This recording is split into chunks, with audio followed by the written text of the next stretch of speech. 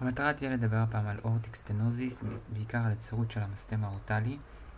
אמ, אז כאן מתחילים לתאר את היצרות של המסתם האורטלי, ובעיקר זה שהוא מוצר, אבל התסמינים, הסימפטומים של aortic stenosis מתחילים בדרך כלל כשהיצרות מאוד קשה. מה הסימפטומים? הסימפטומים יכולים להיות אי ספיקת לב, אה, איבוד הכרה וכאבים בחזה. קשיי נשימה כנראה מהאי ספיקת לב, leg swelling גם כן מתאים, אה, בעיקר קורה במאמץ, יש כל מיני תיאוריות שהלב לא יכול להעלות את ה cardiac output, לכן במאמץ זה מתחיל. מדברים קצת על הגורמים לזה, שזה שוב פעם בעיקר הגורמים כמו למחלות לב וכלי דם, שזה סכרת, יתר לחץ דם, עישון אה, ודברים כאלה. את החומרה של ה... אה, את החומרה של המצב של המסתם יכולים אה, לאבחן בכמה דרכים, אבל invasive הכי טובה זה אולטרסאונד אקו. אה, עוד פעם מסבירים על הסכנה בשימוש בתרופות מסוימות, כמו ACE inhibitor, ניטרוגליצרין ו beta blocker, יותר נכון צריך להשתמש בזה בצורה אה, מאוד מאוד נזהרת, כי זה יכול לגרום להתעלפות באנשים כאלה, ובעיקר לירידה בלחץ דם. אז זה גם, מסבירים פה שזה משהו מאוד מאוד שכיח, יחסית זאת סך הכל המחלת מסתמים הכי שכיחה.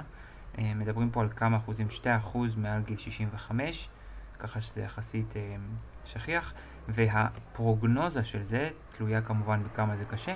מדובר על זה שאם אה, אם זה מצב קשה וסימפטומטי, אז הפרוגנוזה ממש לא טובה בלי תיקון, בלי טיפול.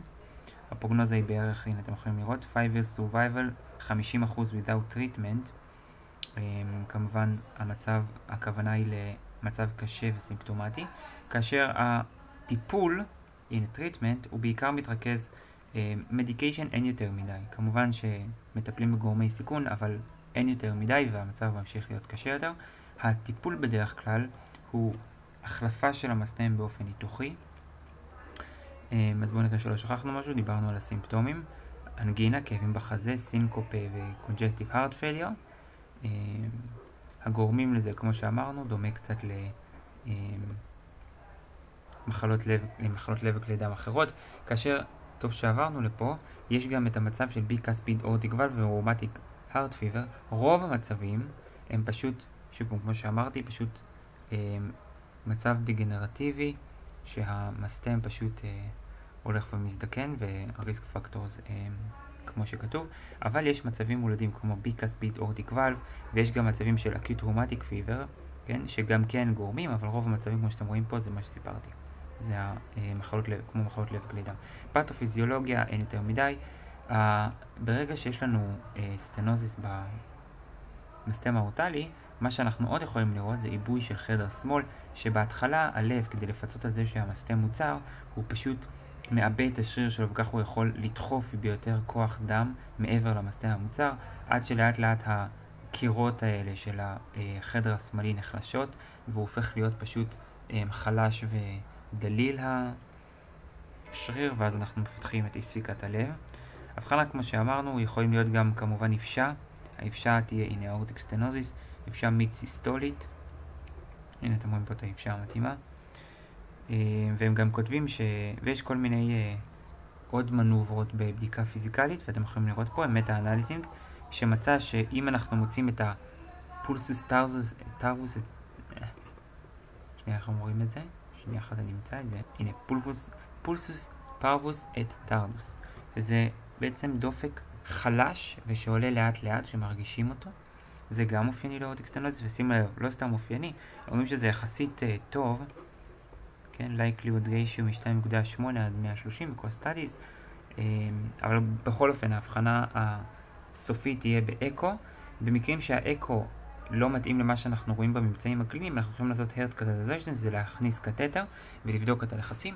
עכשיו, איך אנחנו מגדירים aortic stenosis קשה? אנחנו מסתכלים על שני דברים, mean gradient, כלומר ההפרש בלחצים בתוך החדר לעומת מחוץ לחדר, במסתם האורטלי, כן, שהוא חוצץ ביניהם, ובשטח של המסתם. כאשר במצב נורמלי יש לנו רק כמה, um, הנה, a normal aortic valve has a gradient of only a few מילימטר כספית, ואתם רואים שככל שהמצב נהיה יותר קשה, הגרדיאנט הולך ועולה מעבר למסתם, בין המסתם לחדר. ככל שהגרדיאנט גדול יותר, ככה המצב קשה יותר. מבחינת אורטיק ואלב, אה, השטח שלו, מדובר במצב נורמלי על 3 סנטימטר בריבוע, זה בערך השטח הנורמלי שלו. כאשר aortic valve stenosis קשה, מדובר פחות מ-1 סנטימטר, וגם חשובים הסימפטומים. בלי סימפטומים אנחנו לא, לא, לא מתייחסים לזה כמצב אה, מאוד קשה ממש, כאילו אנחנו צריכים גם את הקליניקה.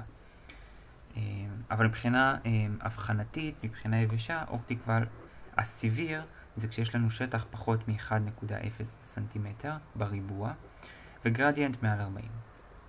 אז קטטריזציה זה רק למקרים שהאקו הוא לא מספיק אבחנתי ואנחנו לא מבינים למה האקו מראה משהו אחד והקליניקה מראה משהו אחר, אז אפשר לעשות קטטריזציה, שזה קצת מסוכן, כי זה יכול לגרום ל stroke, כאילו יש לזה סיבוכים, אבל זה יכול לעזור לנו למדוד את השטח של המסתם בצורה טובה יותר. ב chest X-ray אנחנו יכולים לראות דברים כמו למשל LVH ודברים כאלה. מבחינת management, ל medication אין כל כך הרבה, אפשר לתת סטטינים ודברים כאלה, אבל אין לזה יותר מדי. מה שכן צריך לזכור מבחינת medications, זה ש beta blocker, ניטרטים, ACE inhibitors, צריך להתייח... לתת אותם בזהירות רבה במטופלים כאלה שוב יכולים להוריד לחץ דם. הטיפול הוא ניתוחי או צנתורי aortic valve replacement, וכאשר מטפלים בזה, אז הפרוגנוזה יחסית טובה. For people older than it's about the same, הנה, prognosis after aortic valve replacement for people who are younger than 65 is about 5 years less than that of the general population. אתם רואים אז בעצם שאחרי התיקון של המסתם, הפרוגנוזה די דומה לפרוגנוזה של אדם רגיל, הוא קצת פחות בכמה שנים, 5 שנים, משהו כזה. בלי תיקון של aortic valve stenosis קשה עם סימפטומים, two year mortality של 50 עד 60 אחוז. ככה שכשיש לנו severe aortic stenosis עם סימפטומים, כדאי לטפל, הפרוגנוזה משתפרת מאוד. יחסית שכיח כמו שאמרנו מקודם, ובזה אנחנו בעצם מסיימים לדבר על aortic valve stenosis. Aortic stenosis. שוב פעם, אה, סימפטומים אמרנו, יכול להיות אי ספיקת לב, כאבים בחזה והתעלפויות, complication, heart failure, usually onset אה, מתמשך, causes, יכול להיות bicuspid aortic valve, rheumatic fever, ויכול להיות גם ניווני על רקע של progressive uh, calcification. מה עוד? risk factor אמרנו, diagnostic אולטרסאונד או קתטריזציה במקרה שצריך. treatment אמרנו הוא medication אין יותר מדי, רק צריך לזכור את התרופות שלא כדאי לתת. או יותר נכון שצריך להיזהר בלתת, ACE inhibitor ניטרוגליצרין, beta blocker, גם הידרלזין. prognosis, בלי טיפול, אם יש לנו severe symptomatic, הפרוגנוזה לא טובה, צריך לטפ... כדאי לטפל. frequency יחסית שכיח, זה מחלה מסתמית השכיחה ביותר. אוקיי, אז בזה אנחנו מסיימים לדבר על aortic stenosis. תודה רבה לכם. קרדיט לוויקיפדיה, וזה הכל. זהו.